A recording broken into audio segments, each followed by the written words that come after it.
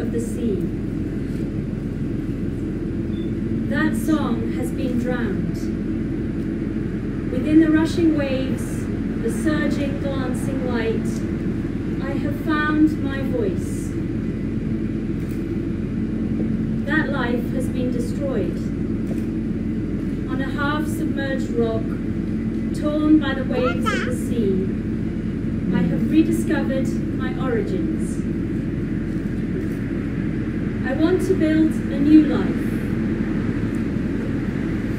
Seagulls nestling in light mist, the wings of dreams in air. Time is a flock of gulls taking wing and flying off beyond the roar of the waves. I am a demented wave thrown down on a reef, instantly torn apart to reveal the explosion of light. The pieces gather up to form a contemplative surface, a rising and falling mirror for our gaze. I am the petrel in the branches of sunlight. I am the fish that melts in the sea. Red-eyed lighthouse staring into the hurricane.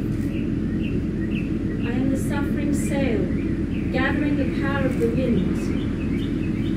I am the anchor that longs for the drifting wave. Moonlight embellishes white marble, now running with glistening tears, slowly, slowly, slowly fading. Tears the sun apart. Through the colours of the night sea, I flee towards the edge of darkness, climbing one blue ladder.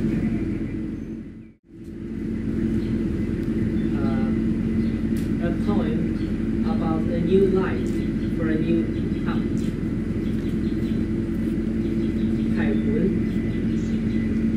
那只歌被淹死了，在喷涌光的激浪中，我找到自己的身影。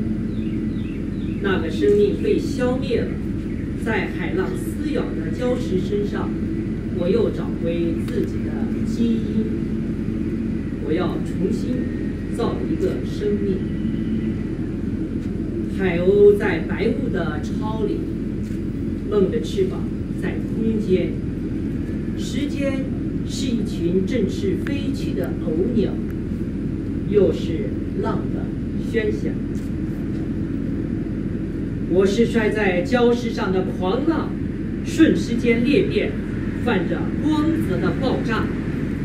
将碎片聚合，一面沉思，眼光起伏的镜子。